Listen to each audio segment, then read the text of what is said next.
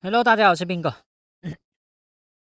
今天呢，给大家介绍一下水沟边品种。这个是水沟边的，大家看一下，果实蛮大个的，也是紧凑型的。刚才我摘了一个果，很大个，啊，比储粮大。储粮最大个可能也有这么大，但是储粮一般都是偏小一点的。这个有十六克，十六克到十七克之间，啊，单单果重，很大个的。我们储粮一般是十二到十三嘛，可能重一点，可能也就有十五这样。它这个是十六到十七，啊，当时我们上两周已经摘了一次，现在还剩一颗在这里。现在是八月三号还是四号嘛？它的果的话，现在还是轻，还还是偏轻一点。这里应该还可以再大一点，应该差不多了。这里啊，就就还有三串，咱们都是紧凑型的，大家看到没有？都是比较紧凑的，大家看一下这个，大家看到没有？紧凑型的果看起来就是。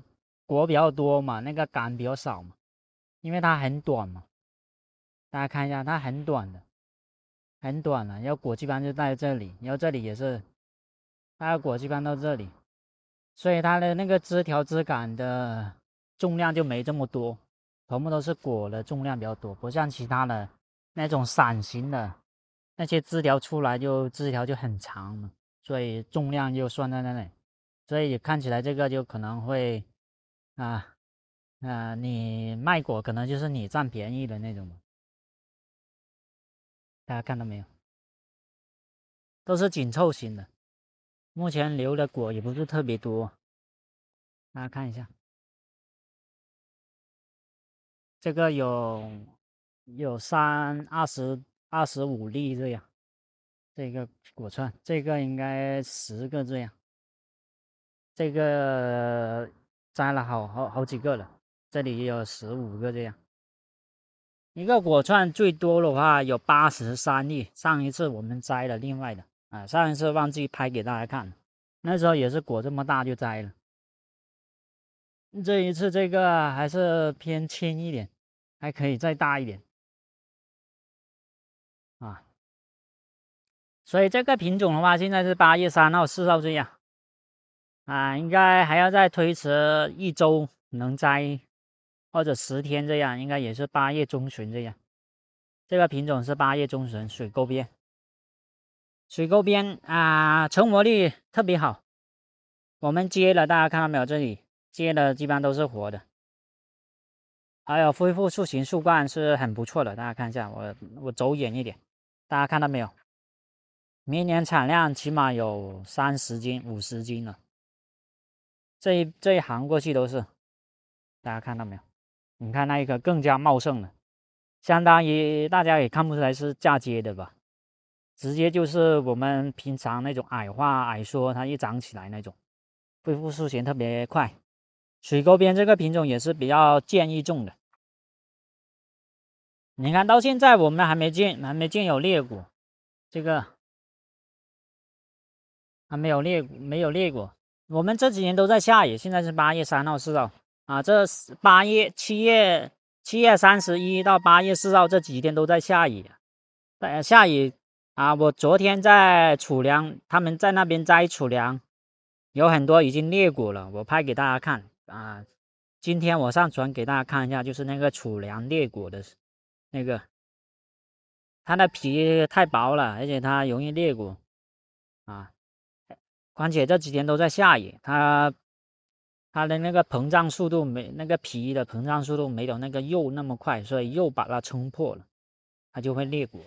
这个目前没发现有裂果这些新品种，就是这个水沟边呐，水沟边可能皮比较厚，目前还没见啊。我我比较推荐这个水沟边的，还是可以的啊。现在咱们尝一下这个果吧，我摘了一个。你看，剥出来还是挺容易离和离上面这个，这这个饼果柄这里你看一剥就带在这里了，它不是带在肉那里，那还是蛮 OK 的。大家看一下，是吧？肉蛮厚的，大家看到没有？又是很厚的那个肉层。大家看一下，你看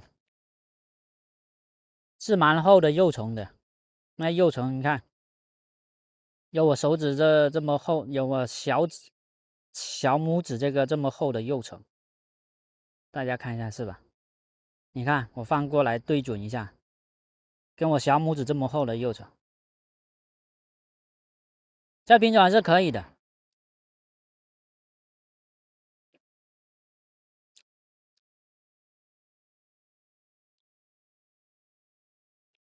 大家看一下，甜度一般是十九到二十一，它是有水分的，所以是你吃起来生生生脆，它还带有那种脆的声音，你嚼的时候。它是生脆带带甜的那种，相当于吃那个什么沙葛葛薯那种，然后再带带点甜度，还是可以的。这个品种比较大个啊，吃了也不不是很腻，不是它不是腻的那种，它是很呃，相当于我们吃什么呢？啊，我我也说不出是相当于什么，反正就是跟储粮储粮就是另外一种区别了，它是清。清甜的那种啊，目前就是这样吧。反正我比较推荐就是这个水沟边的，还是可以的啊。咱们就讲一下这个。如果你还有什么疑问的话，欢迎在下方评论。感谢大家观看，谢谢大家，我是冰狗。喜欢的话请点赞关注。